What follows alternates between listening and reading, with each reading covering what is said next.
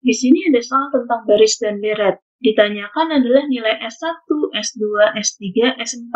Nah, di sini rumus untuk mencari S adalah jika ada deret U1, U2, U3 sampai UN, berarti untuk mencari nilai S itu adalah jumlah suku ke N-nya dia. Misalkan U1 berarti adalah jumlah satu suku pertama, berarti nilai S1 sama dengan U1. S2 itu adalah jumlah dua suku pertama, berarti adalah U1 ditambah dengan U2. Untuk mencari Sn atau S berapapun berarti nanti adalah U1 tambah U2 tambah U3 seterus-terusnya sampai UN. Nah, di sini di soal diberitahukan bahwa ini kan U1, itu yang pertama adalah 24, U2 6, U3-nya adalah 1,5. Nah, kita lihat di sini kalau S4 seharusnya kan dia adalah sampai U4.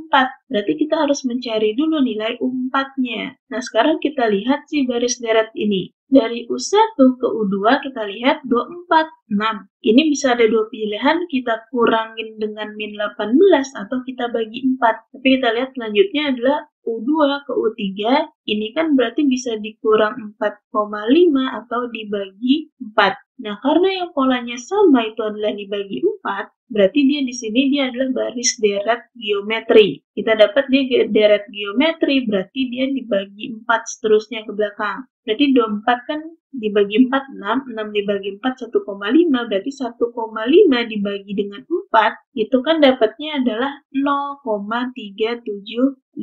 Berarti U4-nya adalah 0,375. Kita sudah dapatkan di sini U1 sampai U4-nya. Berarti di sini untuk mencari nilai S, kita mulai dari S1 dulu. S1 itu sama dengan U1, berarti adalah 24. Kita dapat S1.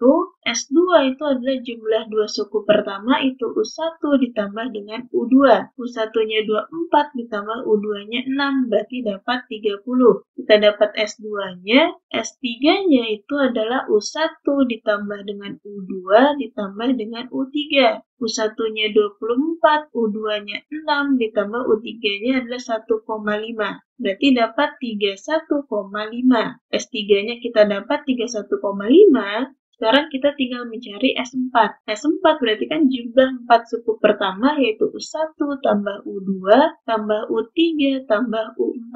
U1-nya 24, U2-nya adalah 6, U3-nya 1,5, ditambah U4-nya tadi kita sudah cari 0,375. Berarti jika dijumlahkan hasilnya adalah 31,875. Ini nilai S4.